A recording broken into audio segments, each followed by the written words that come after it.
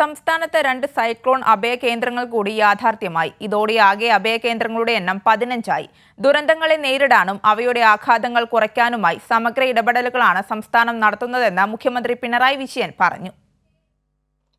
കാലാവസ്ഥാ വ്യതിയാനം മൂലമുണ്ടാകുന്ന അടിയന്തര സാഹചര്യങ്ങളിൽ തീരദേശവാസികൾക്ക് താൽക്കാലിക താമസ സൗകര്യമൊരുക്കുക എന്ന ലക്ഷ്യത്തോടെ തിരുവനന്തപുരം മുട്ടത്തറയിലും ആലപ്പുഴ കുമാരപുരത്തും നിർമ്മിച്ച സൈക്ലോൺ അഭയ കേന്ദ്രമാണ് മുഖ്യമന്ത്രി നാടിന് സമർപ്പിച്ചത്.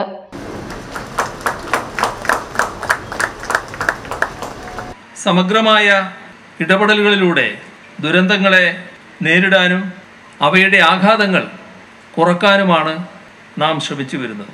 ഇവിടെ വികസന പദ്ധതികളും ക്ഷേമ പദ്ധതികളും ഒരുപോലെ സംയോജിപ്പിച്ചുകൊണ്ട് ഒരു നവകേരളം കെട്ടിപ്പടുക്കുക എന്ന ലക്ഷ്യത്തോടെയാണ് നാം നീങ്ങിക്കൊണ്ടിരിക്കുന്നത്. അതിന് ഭാവിയെ മുന്നിൽ കണ്ടുകൊണ്ടുള്ള ഇടപെടലുകളാണ് വേണ്ടത്. ഭാവിയിൽ ഉയർന്നു വന്നേക്കാവുന്ന പ്രതിസന്ധികളെ മുൻകൂട്ടി കാണാനാവണം. അവയെ നേരിടാൻ സമൂഹത്തെ സജ്ജമാക്കാനും കഴിയണം. പതിമൂന്നെണ്ണം നേരത്തെ നാടിന് സമർപ്പിച്ചിരുന്നു. ഇതിനു പുറമെയാണ് പുതുതായി രണ്ടെണ്ണം കൂടി ഉദ്ഘാടനം ചെയ്തത്.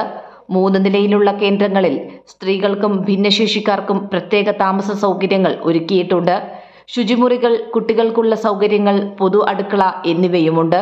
തീരപ്രദേശത്ത് നിന്ന് പത്ത് കിലോമീറ്ററിനുള്ളിൽ ഭൂമി കണ്ടെത്തിയാണ് ഇവ നിർമ്മിച്ചിരിക്കുന്നത്. തദ്ദേശ സ്ഥാപന അധ്യക്ഷന്മാരുടെ മേൽനോട്ടത്തിൽ ഷെൽട്ടർ മാനേജ്മെന്റ് കമ്മിറ്റി രൂപീകരിച്ചിട്ടുണ്ട്.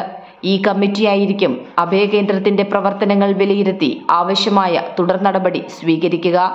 കൈരളി ന്യൂസ് തിരുവനന്തപുരം.